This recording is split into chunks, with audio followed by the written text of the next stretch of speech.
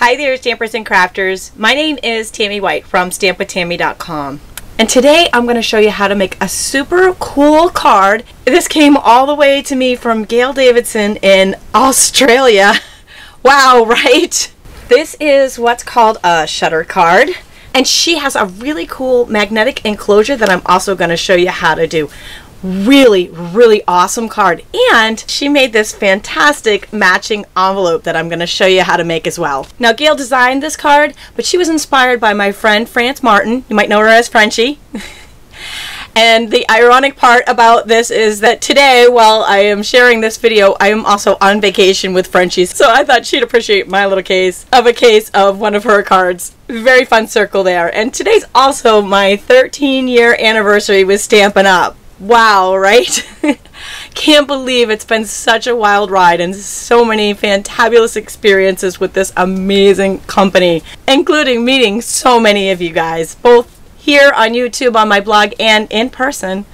Okay, enough about all that. Let's get started with this super cool card. And here is our beautiful card up close. And it was just so cool to get a card from Australia in the mail Look at her beautiful envelope. I'm actually going to show you how to make this beautiful envelope as well as how to make this super cool shutter card that Gail made and the little trick she did here with the magnetic enclosure. Excellent. So we're going to start by making our card. I'm going to be using the Simply Score tool from Stampin' Up. We'll also be using the Endless Thanks stamp set and two framelits, which are the banners and the detailed floral. All of these supplies and all of these measurements which are going to be very important when you're making this cool shutter card, are available on my stampwithtami.com blog simply by going to this URL or clicking in the link in the YouTube description below. We'll be starting with the Simply Score tool. We're going to score at 2 and 1 eighths and 6 and 3 eighths. And that gives us a perfect center fold card. Big Shot die cut machine, magnetic platform, and one cutting pad down can actually do both of these at the same time. There are two sheets of white cardstock that we're going to cut a banner tail into. We'll be using the largest banner framelit from the banners. Just line that up on top, put one cutting pad on top, and crank it through. And that's going to give us our two inside pieces. Put those aside for just a minute. All right, next we are going to be using the detailed floral framelits and for that we're taking the Big Shot platform and thin die adapter that come with it and the precision base plate. This acts as a cutting pad.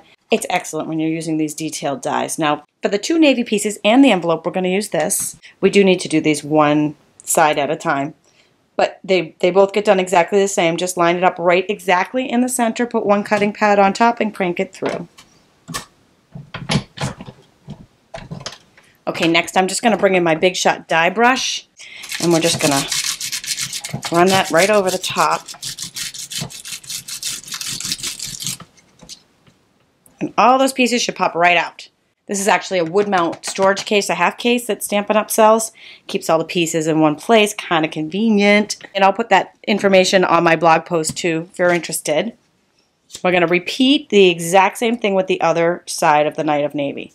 And while we have it out, we're going to repeat one more time with the top of our envelope. Okay, so I've opened up the envelope. We're just going to lay it flat on the Big Shot, on the precision plate, exactly like we did with the Night of Navy.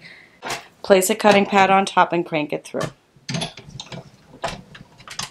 And then we'll just use the die brush again just to poke that, poke that out. And so our envelope looks like this, and then we'll do the backing sheet out of vellum cardstock. So I've got a little vellum cardstock. The measurements are on my blog. And we're just going to take this little edgelit that's also in the detailed floral thinlits to edge it for a finishing touch and just run that back through. And so that is what that looks like when it's done, which is really cool. So you can use whichever adhesive you like here. I'm just going to take a tiny little bit of snail adhesive around some of these edges here just to hold the vellum down. And that is how you do the envelope. And we'll just put that aside while we finish up our card. One more little piece of Big Shot work before we put that away.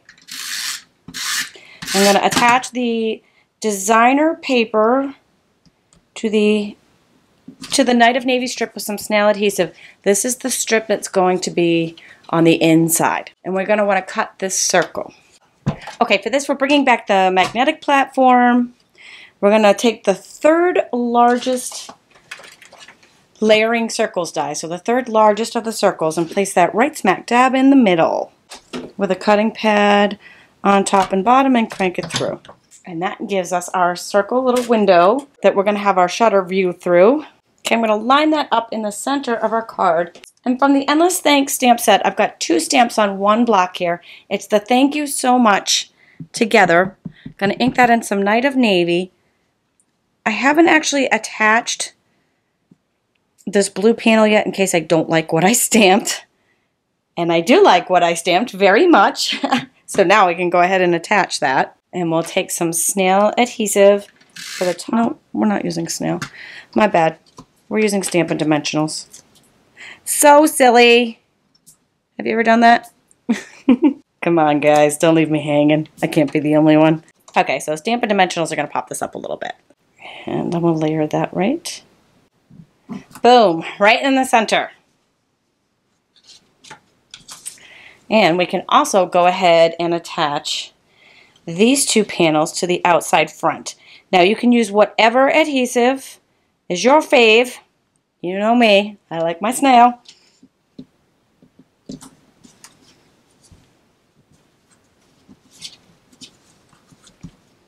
Okay, now we're ready to make our inside panels. We want to cut these two banner pieces to three and a half inches.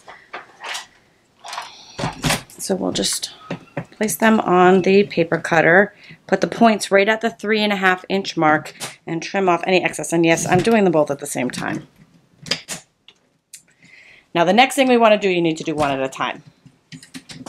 And that's score. And we're going to score it a half inch in. Now the scoring, whoops, move it down so you can see. The scoring blade here is the lighter blade. So the cutter is the dark blade, the scoring is the lighter blade. And what that's going to do is create a nice crisp score line at the half inch mark on both of them. Um, and they're going to attach on these two wings or flaps like so. But you want to line them up first so you can see that they're going to work perfectly. You don't want them kind of askew. So, so I'm just using snail because I'm on the video here, but I do recommend maybe using some tear and tape adhesive or fast fuse for this part because these are moving parts. Just line that up in the center. So you can kind of kind of get an idea of how they're going to open and then you can just tuck them underneath like so. And that is our really cool shutter card. Okay, so now for the finishing touch, the magnetic dots. So these are um, two strips of the designer paper here. Measurements are on the free PDF on my blog. I'm just folding them in half. And here's the magic. These are small magnetic discs. They're like buttons from BasicGrey. I got them online and I will um, put their information in the blog post as well. So they're actually, there's a, there's 10 sets, so 20 in all, a positive and a minus. And when you pop them out, I just want to show you how super thin these are. And they're peel and stick, which is fantastic. So they just go right in the center, one each of these little enclosure tabs. Okay, now I've got some mini glue dots that I'm using for the rest of this. Um, I'm going to stick one in the center of each of these tabs just to hold them closed.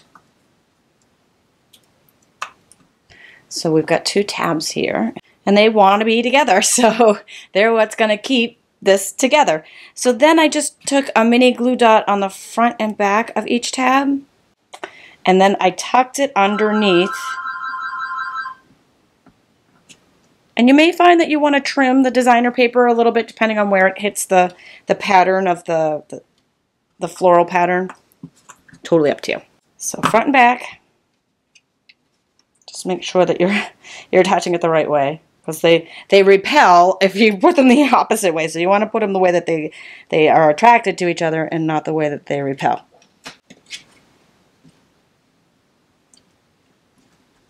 And our card is complete along with a beautiful envelope for it.